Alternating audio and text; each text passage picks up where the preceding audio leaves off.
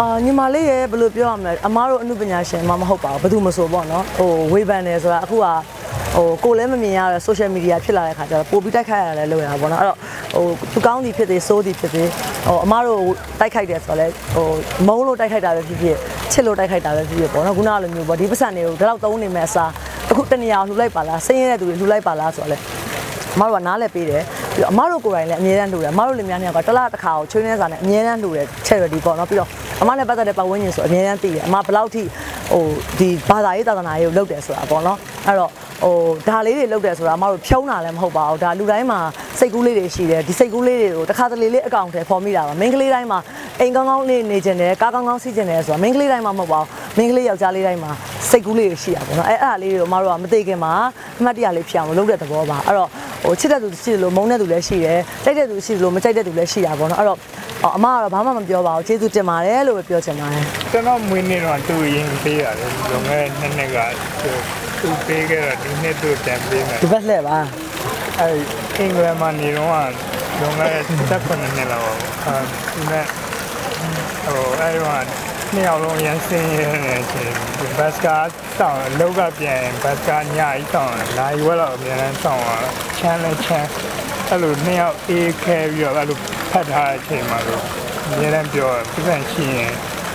Ferrari စီးမယ်။အဲ့ဒါချင်း Rolls Royce စီးမယ်။နှစ်ယောက်ပြောထားရတယ်။ तू ကအရင်ပြေးဟိုအဲဒီနေ့သူ့ဒီ ကြိုက်ရကဆိုတယ် အဲ့တော့မဖြစ်နိုင်တော့မှန်းနေပြီးတော့ရှောက်ပြောကြတာပေါ့ဈေးအကြီးဆုံးကားတွေကိုပဲရှောက်ပြောကြတာပေါ့နော်အဲ့အဲ့လိုမျိုးအဲ့လိုမျိုးဟိုကိုချာဘူးနာဝါရှိတဲ့တထေးတွေပဲစီးတဲ့ဈေးအကြီးဆုံးကားဆိုလို့ရှိရင် तू က Ferrari ကြိုက်တယ်အမက Rolls Royce ပေါ့နော်အဲ့အဲ့လိုမျိုးဟုတ် ။ तू ကအဲ့လို तू လုံးဝမထင်မှတ်မဲ့နေရာမျိုးကိုရွေးလိုက်တော့ဟို မြန်မာပလာဇာကြီးကိုတော့ကားသွင်းပြီးတော့လုံမယ်လို့တော့ဘယ်သူကသိမှာလဲနော်ပန်းထန်တို့ဘာလို့ဆိုတော့အမချက်ချင်းရိပ်မိမယ်ဆိုတော့ तू သိတယ်ပြီးတော့အမကအဲ့လိုဟို light ကြည့်ဟိုဟာလောက်ရတာ ဝါသနာပါစုံထောက်လောက်ရတာဝါသနာပါအမချက်ချင်းသိတယ် तू မဟုတ်တာလောက်တာအစအဲ့တော့ဒီတစ်ခုကိုကြတော့အမလုံးဝမထင်ထားတဲ့နေရာပြီးတော့မွေးနေ့ကလည်းအဝေးကြီးလို့သေးတဲ့ဆိုတော့မစင်စားထားဘူးပေါ့နော်မွေးနေ့နာနီးရင်တော့ဟောဖြစ်ဒိုလောဒိုလောဆိုပြီးတော့ဖြစ်နေပြီးတော့ဟိုကန်ဆိုတာတစ်ခုက तू သူကားဝယ်မယ်ဆိုပြီးတော့ပြောလိုက်တဲ့အချိန်ကပွဲစားတွေကလည်းအမဟိုးရင်တော့ဆက်ပြီးတော့မေးတော့အမတော့လုံးဝမဟုတ်ဘူးဆိုပြီးတော့ပြောထားတာပေါ့နော်အဲအဲ့လိုမျိုးဆိုတော့သူတကယ်ဝယ်မယ်လို့လည်းအမစိတ်ထဲမှာလုံးဝမသိထားဘူးပေါ့နော်ပြီးတော့လဲ ဟိုမဝယ်လဲမဝယ်မဝယ်နဲ့လို့လည်းသူအစောကြီးကလည်းပြောထားတာပေါ့နော်ဘာဖြစ်လို့လဲဆိုတော့အဲ့လောက်ကြီးလည်းအရေးမကြီးတော့ဘူးပေါ့နော်အဲ့ဒါဝယ်ပေးတာပါပါဘူးအိမ်မှာအိမ်မှာတိတ်နာပေါ့ကိုကလားအမအများသောအပြင်လောက်တာအမကအရန် romantic ဖြစ်တယ်သူကတိတ်မဖြစ်ဘူးဒါပေမဲ့အာဗာလဲဟာဝိုင်မှာဟာဝိုင်မှာမင်္ဂလာဆောင်တော့ကလည်းအဲ့လိုပဲအမကိုဟိုဗာလဲပွဲဓာတ်ပုံရိုက်လားမသိပါဘူးရှိရဆိုပြီးတော့ခေါ်သွားပြီးတော့အဲ့ beach လေးမှာ အမသူဒူးထောက်ထိုင်ပြီးတော့မှအမကိုလက်ထပ်ခွင့်ပြန်တောင်းတာပေါ့နော်အဲ့ဒါပြီးတော့ချက်ချင်းပဲအင်ကြီးတွေဟိုဟာတွေခရောင်းတွေအကုန်ဆင်ပြီးတော့အဲ့နေရာလေးမှာသမီးလေးတွေနဲ့ချက်ချင်းမင်္ဂလာဆောင်လိုက်ရအဲ့အဲ့ဒါလေးကနော်ဟာဝိုင်မှာတော့အဲ့ဒါတစ်ခါတတိယအကြိမ်လောက်ဖြစ်သွားပြီပေါ့နော်ဟိုကဗာလဲ